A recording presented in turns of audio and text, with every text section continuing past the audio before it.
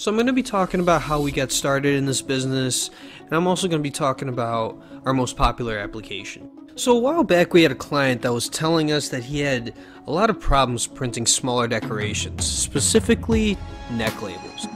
He didn't want to take up his large automatic press to do tiny one color neck labels, and he didn't want to do it on his pad printing machines either because his clients were complaining about the print quality. He knew that we had not only extensive knowledge of machinery and delivery systems, but we also had a lot of experience in the garment decoration industry. After further talks, he decided to give us funds for this project.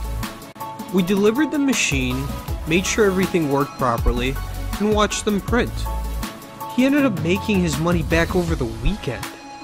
He called us back the very next week asking us for four more machines. Not only was he able to relieve the bottlenecks in his production, but he was also able to offer his clients a better print quality at a lower price than some of his competitors. He ended up telling some of his friends about our neat little machine, and then in turn, those friends told their friends. And next thing you know, we're getting calls from all over the world. Nowadays, when we meet clients, we always ask them how they got started. And we've heard some amazing stories over the years, while creating our own. So what's your story? How did you start your business or your channel? Leave a comment